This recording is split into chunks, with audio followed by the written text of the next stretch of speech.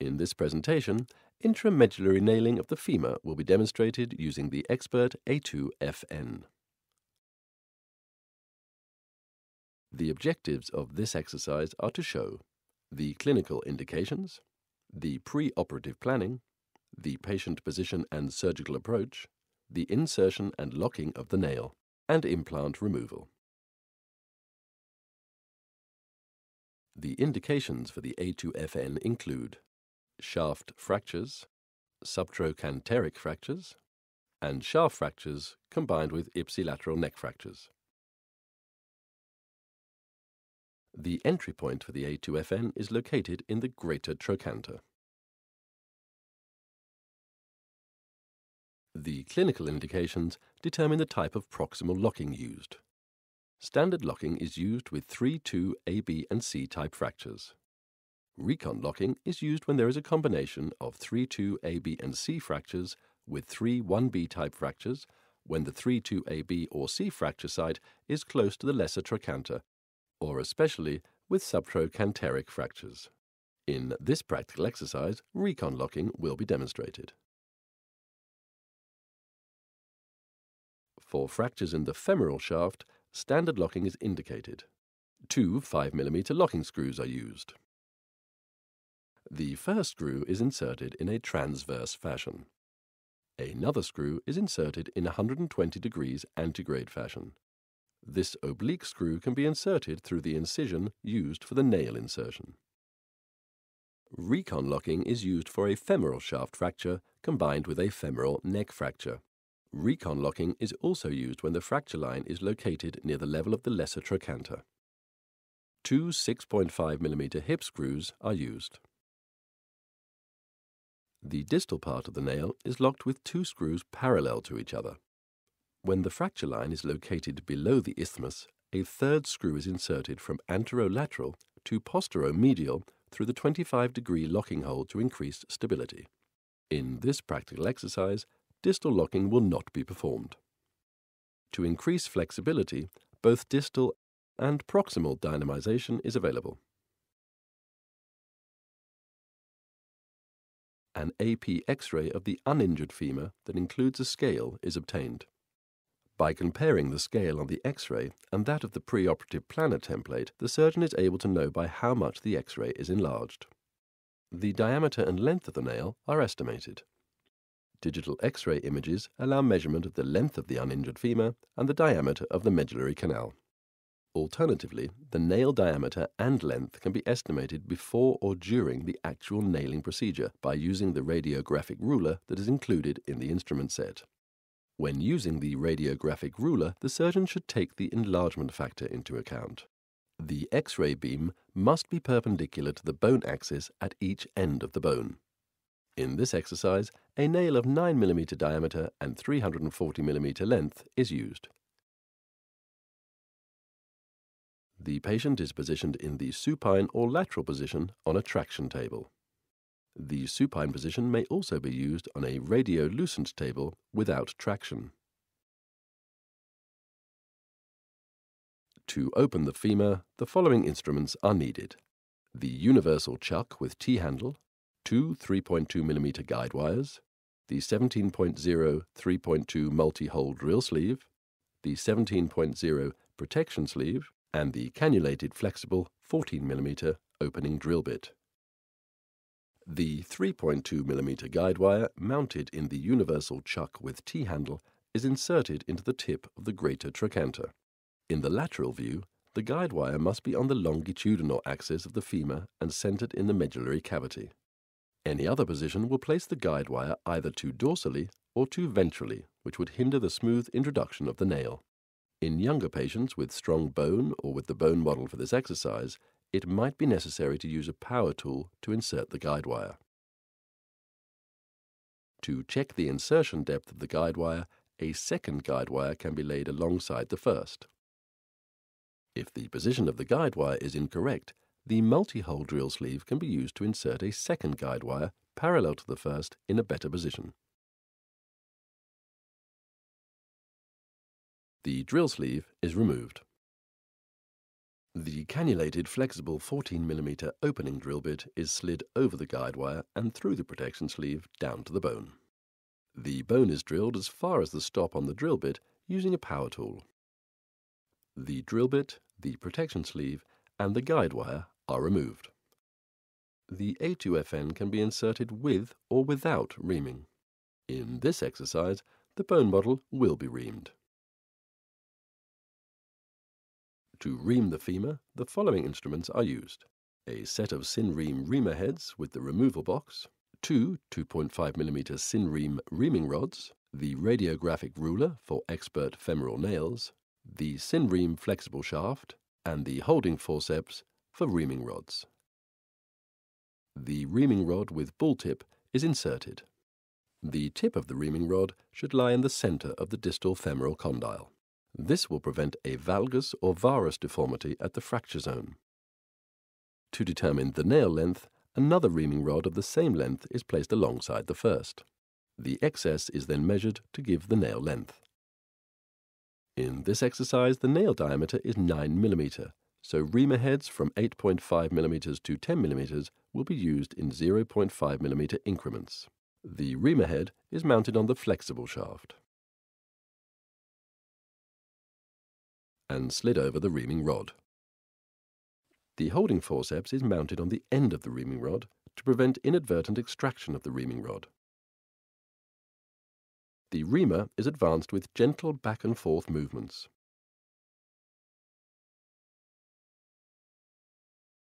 The holding forceps are used to hold the reaming rod in place while the reamer head is exchanged. The medullary canal is reamed up to a diameter of 10 millimeters.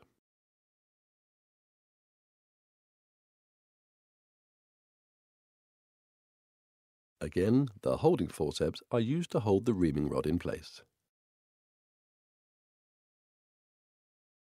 The instruments needed to insert the nail and prepare for recon locking are the hexagonal screwdriver with spherical head, the cannulated connection screw, the insertion handle, the appropriate A2FN, the connector for the insertion handle, the combined hammer, and the aiming arm.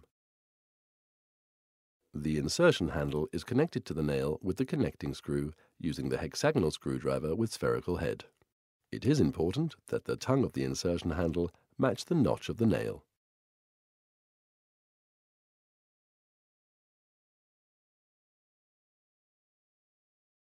The aiming arm is connected to the insertion handle before the nail is inserted to check that the aiming arm will guide the hip screws correctly through the nail. The three-part trocar combinations are introduced through the recon holes in the insertion handle. The trocars are removed. Two guide wires are inserted. If the guide wires pass correctly through the recon locking holes in the nail, the nail can be inserted. The guide wires along with the sleeves and aiming arm are removed. With the patient positioned supine, the insertion handle initially points towards the ceiling. The nail has spiral flutes on its surface to help rotational movement during insertion. When the nail is advanced into the bone, it rotates 90 degrees. The insertion handle now points to the lateral side. If the insertion cannot be completed manually, the connector is attached to the insertion handle. The slot nearest the nail should be used so that the connector lies parallel to the nail for easier insertion. The transmission of force is more in line with the nail when the connector is nearer the nail. This will help advance the nail with less effort. The nail is advanced with gentle blows of the hammer. The insertion handle itself must never be struck directly. The connector is now removed. To insert the Recon locking screws, the following instruments are needed the 11.5 8.5 protection sleeve, the 8.5 3.2 drill sleeve, the 3.2mm trocar, the 3.2mm guide wire, the direct measuring device, the 4.5 6.5mm reamer, the fixation sleeve, and the T25 star drive screwdriver. The aiming arm is attached to the insertion handle. Two guide wires are placed on the slots of the aiming arm to check the depth of nail insertion so that two hip screws can be inserted within the femoral neck. The distal wire should be near the inferior cortex of the femoral neck, otherwise there would be no room for the proximal hip screw. To ensure correct anteversion of the implant, a guide wire is inserted through the groove of the insertion handle and checked with the image intensifier. If necessary, the nail is rotated to place the wire centrally in the femoral neck. The yellow protection sleeve, drill sleeve and trocar are assembled. The assembly is inserted through the caudal aiming sleeve holder in the aiming arm marked RICO in yellow and is advanced to the bone through a stab incision. The trocar is removed. A 3.2 mm guide wire is inserted through the drill sleeve, and the tip of the guide wire is advanced to the level of the subchondral bone. In a clinical situation, the depth and anteversion are checked under image intensification in an AP and a true lateral view. It is especially important that the lateral image confirms that the K-wire has entered the interlocking tunnel. A second drill sleeve assembly is inserted through the cranial aiming sleeve holder. It is important that no force is exerted on the aiming arm in this step. The trocar is removed and a 3.2mm guide wire is inserted. The caudal drill sleeve is removed. The length of the guide wire is measured with the direct measuring device. Make sure the tip of the protection sleeve touches the bone. Otherwise, the measurement would be inaccurate. In this exercise, the length of the caudal hip screw is 95 millimeters. The cranial drill sleeve is removed, and the length of the guide wire is measured with the direct measuring device. This time, a 90 millimeter long hip screw is used. The caudal guide wire is now removed. To set the measured length for the screw on the 4.5 6.5 mm reamer, the fixation sleeve is fixed in the corresponding position. The length must be read off the side that points towards the tip of the reamer. The reamer is guided through the protection sleeve to the bone and drilled to the stop on the reamer. The position of the reamer is verified in the AP view. The reamer is removed. The hip screw is connected to the long T25 star drive screwdriver. The hip screw is inserted, and the position of the screw is verified in the AP and lateral views. The same procedure is followed for the cranial hip screw. This time a 90mm long hip screw is used. The connecting screw is loosened and the insertion handle and the aiming arm are removed.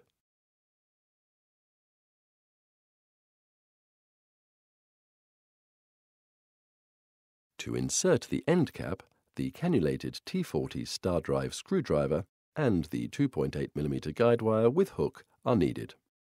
The end cap is fixed on the end of the screwdriver. The blunt end of the guide wire is slid through the end cap and the screwdriver. The hook of the guide wire secures the end cap during insertion. To minimize the chance of cross-threading, the end cap is turned anti-clockwise until the thread of the end cap aligns with that of the nail. Then the end cap is turned clockwise to thread it into the nail. The screwdriver and the guide wire are removed. To remove the implants, the following instruments are needed. The 3.2mm guide wire, the cannulated T40 star drive screwdriver, the extraction screw, the hammer guide, the combination wrench, the T25 star drive screwdriver, and the combined hammer. The guide wire and screwdriver are inserted into the end cap. The guide wire makes finding the end cap easier.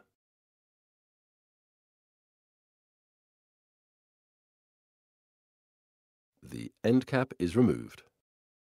The hip screws remain in place while the extraction screw is attached. This prevents rotation of the nail in the canal as the extraction screw is tightened. The hammer guide is attached to the extraction screw.